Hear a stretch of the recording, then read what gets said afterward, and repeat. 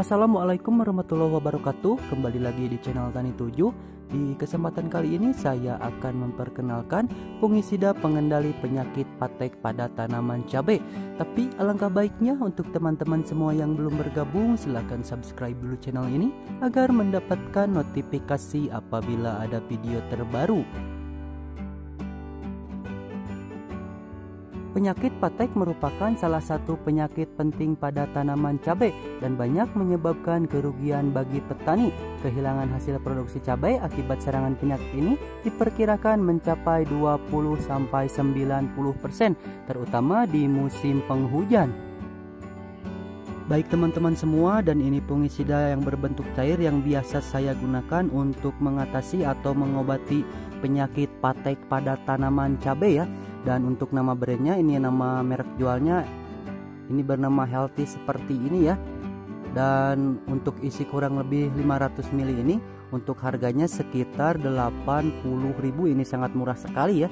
Untuk isi 500 ml dengan harga 80.000 dan ingat untuk teman-teman semua ini bukan endorse atau saya tidak dibayar sama sekali dengan produk ini. Ini berdasarkan dengan pengalaman pribadi saya untuk mengobati atau mengatasi penyakit pada tanaman cabai. Dan untuk teman-teman semua bisa menggunakan bahan ini atau mengaplikasikan bahan ini satu minggu sekali ya. Dan untuk takarannya untuk satu tangki itu dikasih kurang lebih sekitar satu tutup botolnya saja sudah cukup ya untuk teman-teman semua. Dan bahan ini tentunya bisa dicampurkan dengan fungisida tepung yang lainnya seperti dakonil ataupun antrakol ya Healthy merupakan campuran yang bersifat kontak dan sistemik yang sangat dibutuhkan bagi tanaman. Berbentuk cairan kuning kental yang dapat disuspensikan dalam air untuk mencegah dan mengobati penyakit busuk daun patek pada tanaman palawija.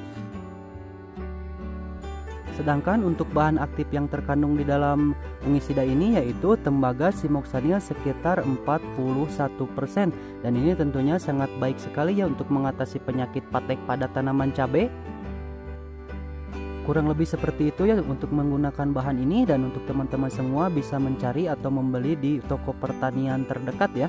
Baik teman-teman semua mungkin sekian video dari saya untuk kali ini. Semoga video ini bisa bermanfaat. Jangan lupa untuk like share dan subscribe. Wassalamualaikum warahmatullahi wabarakatuh